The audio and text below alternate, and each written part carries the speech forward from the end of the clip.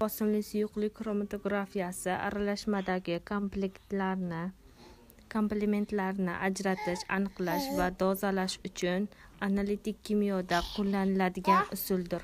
Uning asosiy konstruktiv xususiyati qattiq absorbent materialdan tayyorlangan statsionar faza bo'ylab mobil fazani yuqori bosim bilan siqib chiqaradigan nasoslardir. Namunadagi har bir komplement absorbent moddasi bilan turlicha reaksiyaga kirishadi.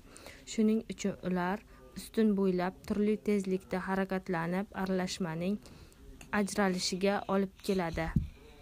Xromatografiya bu massa o'tkazuvchanligi bilan absorbatsiya uning asosiy qismi namuna va erituvchi aralashmasini qattiq absorbent bilan to'ldirilgan ustun orqali siqib chiqariladigan nasoslar bo'lib ularning turli tezlikda harakatlanishi va ajratishga olib keladi. Ustunning keladi. Ustunning faol komplementi absorbent statsionar va faza faza va qattiq donador materialdir. Masalan kremniy yoki polimerlar ko'pincha o'lchami komplementlarning ajratish sababi komplementlarning ajratish sababi uning absorbent moddasi bilan turlicha o'zaro ta'siridir. Bosim ustidagi suyuqlik ko'pincha erituvchilar ajratmasidir.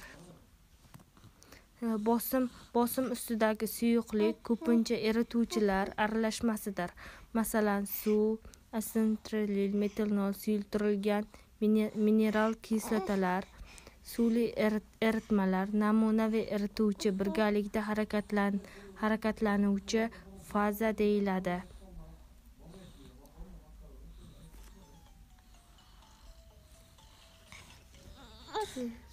mobil fazaning tarkibi va harorati ajratish jarayonida ham juda muhim rol o'ynaydi chunki u komplementlarning absorpsiya jarayoniga ta'sir qiladi. Ushbu ushbu o'zaro ta'sirlarning ko'pchiliklari tabiati fizik masalan robiofik dipol dipol ionli va o'zaro ta'sir yoki ularning kombinatsiyasi hisoblanadi.